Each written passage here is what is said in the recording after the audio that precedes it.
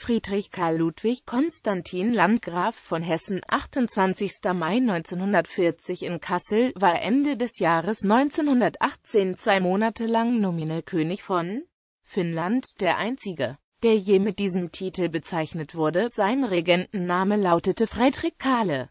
Der in einigen Quellen genannte Name Feinöi geht zurück auf eine Glosse des finnischen Humoristen Feinö Nuotive. Leben Friedrich Karl war ein Sohn des Titularlandgrafen Friedrich Wilhelm von Hessen-Kassel-Rumpenheim und dessen Frau Anna von Preußen. Formell wäre er Thronerbe des Kurfürstentums Hessen gewesen.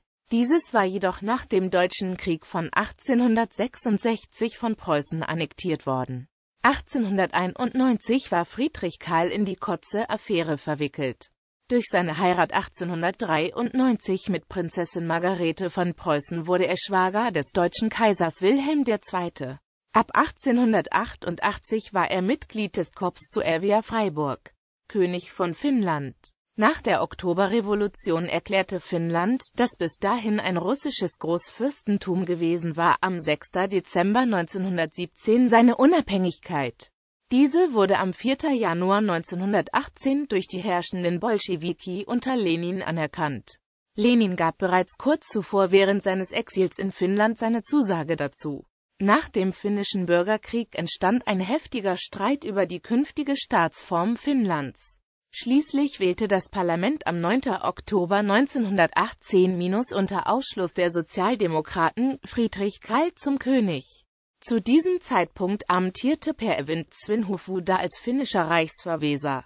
Die Legitimität der damit angenommenen neuen Verfassung basierte auf der seinerzeit auch für Finnland gültigen schwedischen Verfassung König Gustavs III aus dem Jahre 1772, auf deren Grundlage auch die russischen Zaren als Großfürsten Finnlands geherrscht hatten. Die Wahl eines deutschen Prinzen verstärkte die Bindungen an das Deutsche Reich dass Finnland und insbesondere dessen antibolschewistische Kräfte während des finnischen Bürgerkriegs durch Waffenlieferungen und Invasion mit Einnahme Helsinkis unterstützt hatte. Die Entwicklung Finnlands zu einem deutschen Protektorat lag im Bereich des Möglichen.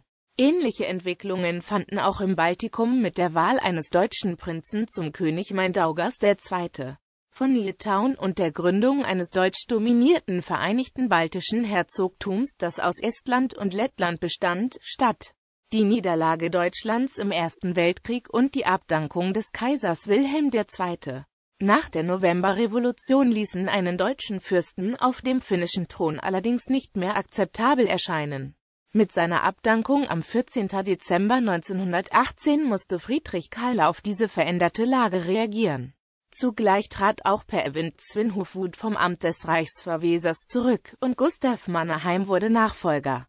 Mannerheim, bis 1917 General in der Armee des russischen Zaren und später von 1944 bis 1946 finnischer Präsident, vollzog 1918 19. als Reichsverweser dann Finnlands Kehrtwende von der Monarchie zur Republik spätere Jahre nach dem Verzicht seines sehbehinderten Bruders Alexander Friedrich wurde Friedrich Karl 1925 Chef des Hauses Hessen-Kassel. Er starb 1940 in Kassel im Alter von 72 Jahren an den Spätfolgen einer Verwundung aus dem Ersten Weltkrieg und wurde in der Kapelle der Burg Kronberg im Taunus beigesetzt. Nachkommen Friedrich Karl heiratete Margarete von Preußen, die jüngste Tochter des Kaisers Friedrich III. Unter den sechs Kindern waren zwei Zwillingspaare. Friedrich Wilhelm Sigismund Viktor, gefallen in Rumänien. Maximilian Friedrich Wilhelm Georg Eduard, gefallen in Belgien. Philipp, Wolfgang, Richard, Christoph, gefallen in Italien. Vorfahren